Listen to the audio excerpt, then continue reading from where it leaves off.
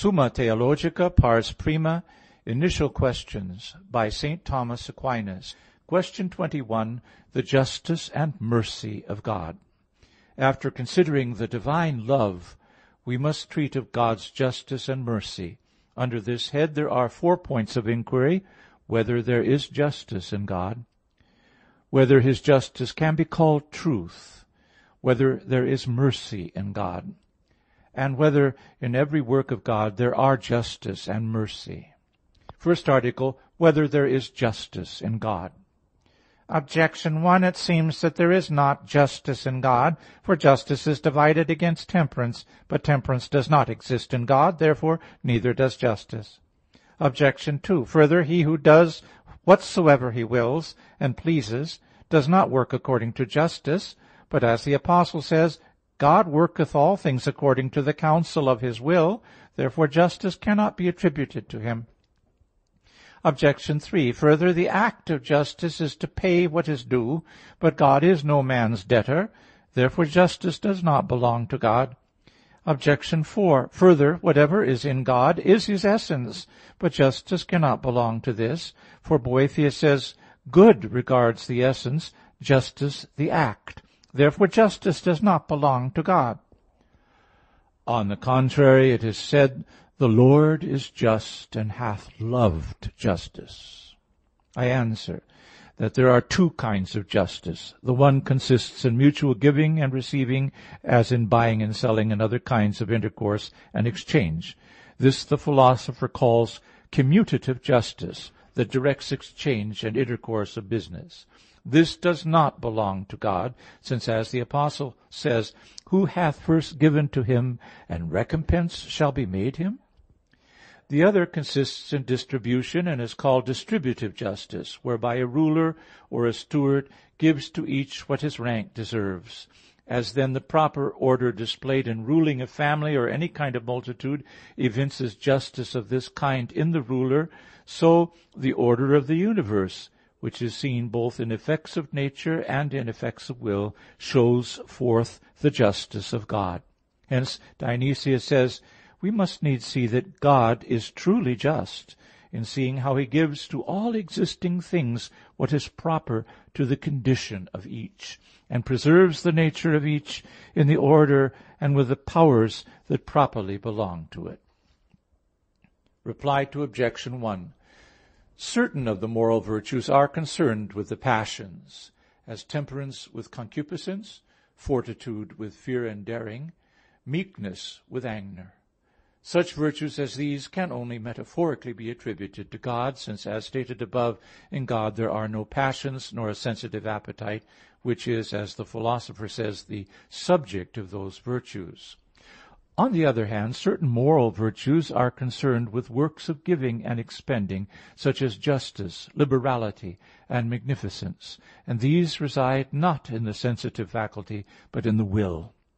Hence there is nothing to prevent our attributing these virtues to God, although not in civil matters, but in such acts as are not unbecoming to Him. For, as the Philosopher says, it would be absurd to praise God for His political virtues.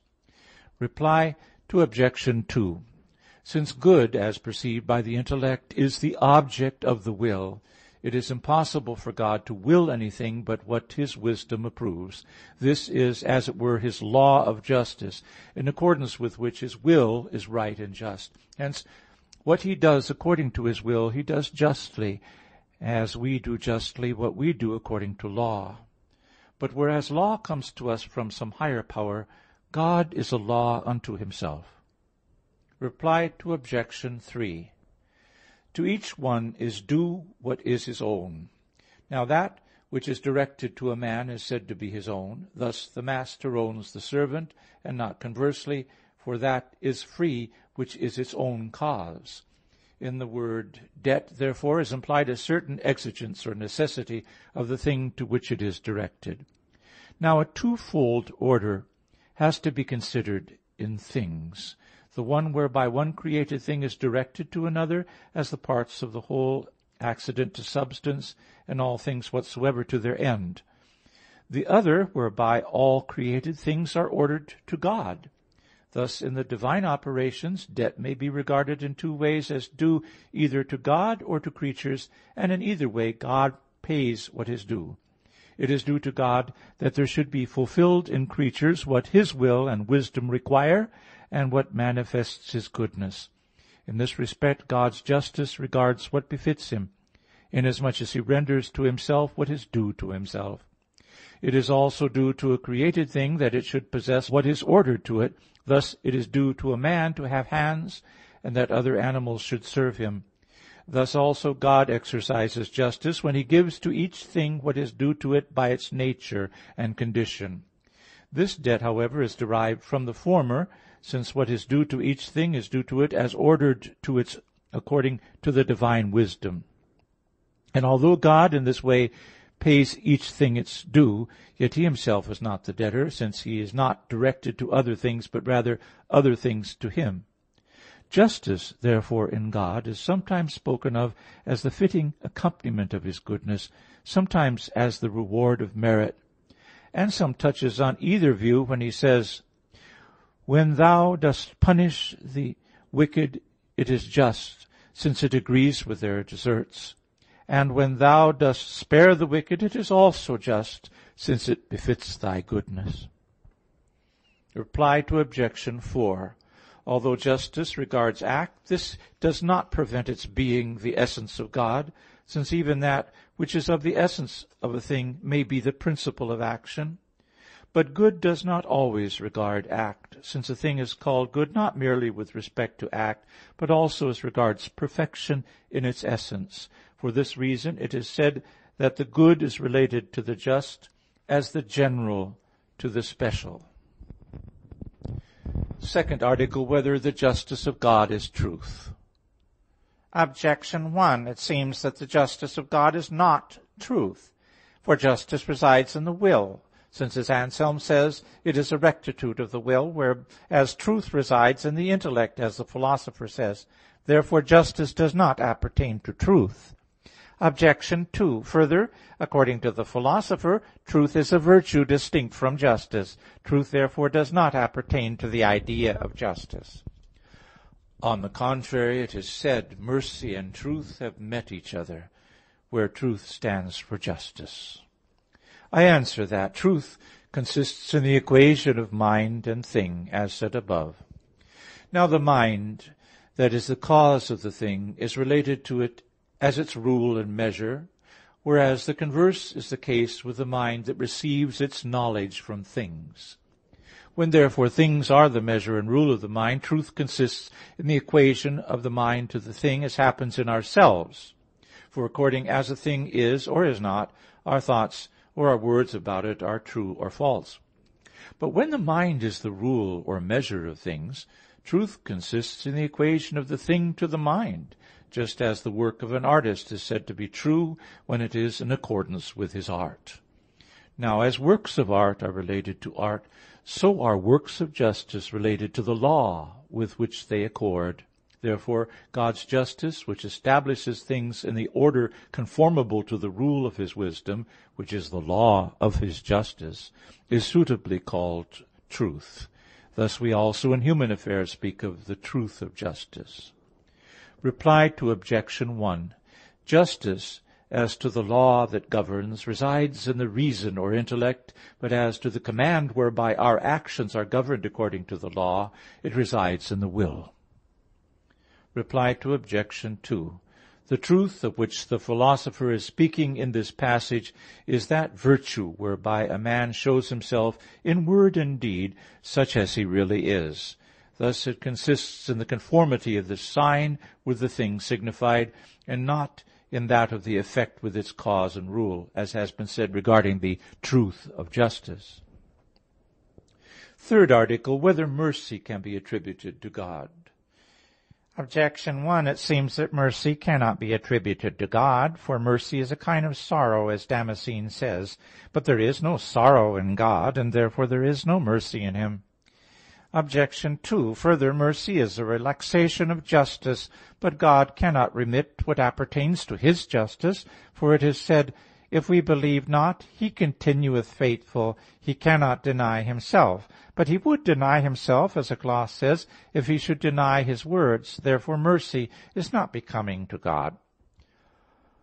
On the contrary, it is said, He is a merciful and gracious Lord. I answer that mercy is especially to be attributed to God as seen in its effect, but not as an affection of passion. In proof of which it must be considered that a person is said to be merciful as being, so to speak, sorrowful at heart, being affected with sorrows at the misery of another as though it were his own. Hence it follows that he endeavors to dispel the misery of this other as if it were his, and this is the effect of mercy. To sorrow, therefore, over the misery of others belongs not to God, but it does most properly belong to Him to dispel that misery, whatever be the defect we call by that name. Now defects are not removed except by the perfection of some kind of goodness, and the primary source of goodness is God, as shown above. It must, however, be considered that to bestow perfections appertains not only to the divine goodness, but also to His justice, liberality, and mercy, yet under different aspects. The communicating of perfections, absolutely considered, appertains to goodness, as shown above. In so far as perfections are given to things in proportion, the bestowal of them belongs to justice, as has been already said. In so far as God does not bestow them for his own use, but only on account of his goodness, it belongs to liberality. In so far as perfections given to things by God expel defects, it belongs to mercy. Reply to objection 1. The argument is based on mercy, regarded as an affection of passion. Reply to objection 2. God acts mercifully, not indeed by going against his justice, but by doing something more than justice. Thus a man who pays another two hundred pieces of money, though owing him only one hundred, does nothing against justice, but acts liberally or mercifully. The case is the same with one who pardons an offense committed against him, for in remitting it he may be said to bestow a gift. Hence the Apostle calls remission a forgiving. Forgive one another, as Christ has forgiven you. Hence it is clear that mercy does not destroy justice, but in a sense is the fullness thereof. And thus it is said, Mercy exalteth itself above judgment. Fourth article, whether in every work of God there are mercy and justice. Objection 1. It seems that not in every work of God are mercy and justice. For some works of God are attributed to mercy, as the justification of the ungodly, and others to justice, as the damnation of the wicked. Hence it is said, Judgment without mercy to him that hath not done mercy. Therefore, not in every work of God do mercy and justice appear. Objection 2. Further, the Apostle attributes the conversion of the Jews to justice and truth, but that of the Gentiles to mercy. Therefore not in every work of God are justice and mercy. Obj. 3: Further, many just persons are afflicted in this world, which is unjust. Therefore not in every work of God are justice and mercy. Obj. 4: Further, it is the part of justice to pay what is due, but of mercy to relieve misery. Thus both justice and mercy presuppose something in their works, whereas creation presupposes nothing. Therefore in creation neither mercy nor justice is found. On the contrary, it is said, All the ways of the Lord are mercy and truth. I answer that mercy and truth are necessarily found in all God's works, if mercy be taken to mean the removal of any kind of defect. Not every defect, however, can properly be called a misery, but only defect in a rational nature whose lot is to be happy, for misery is opposed to happiness. For this necessity there is a reason, because since a debt paid according to the divine justice is one due either to God or to some creature, neither the one nor the other can be lacking in any work of God because God can do nothing that is not in accord with his wisdom and goodness, and it is in this sense, as we have said, that anything is due to God. Likewise, whatever is done by him in created things is done according to proper order and proportion wherein consists the idea of justice. Thus justice must exist in all God's works. Now the work of divine justice always presupposes the work of mercy, and is founded thereupon. For nothing is due to creatures except for something pre existing in them or foreknown. Again, if this is due to a creature, it must be due on account of something that precedes. And since we cannot go on to infinity, we must come to something that depends only on the goodness of the divine will, which is the ultimate end. We may say, for instance, that to possess hands is due to man on account of his rational soul, and his rational soul is due to him so that he may be man, and as being man is on account of the divine goodness. So, in every work of God viewed at its primary source, there appears mercy. In all that follows, the power of mercy remains, and works indeed with even greater force, as the influence of the first cause is more intense than that of second causes. For this reason does God, out of abundance of his goodness, bestow upon creatures what is due to them more bountifully than is proportionate to their deserts, since less would suffice for preserving the order of justice than what the divine goodness confers. Because between creatures and God's goodness there can be no proportion. Reply to objection 1. Certain works are attributed to justice and certain others to mercy, because in some justice appears more forcibly and in others mercy.